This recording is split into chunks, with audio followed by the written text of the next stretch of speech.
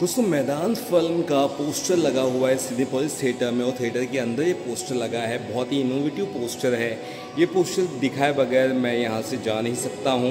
ये पोस्टर की आपको झलक दिखा देना चाहता हूँ क्योंकि पोस्टर वाकई में बहुत अच्छा नज़र आ रहा है। बहुत ध्यान से देखोगे तो पोस्टर, ये कटआउट पोस्टर है। एक तो प्रॉपर स्टैंडी एक बना हुआ है और ये पूरा पूरा जो पोस्टर है जय देवगन का, ये कटआउट है। आप देख सकते हो पूरा पूरा कटआउट है।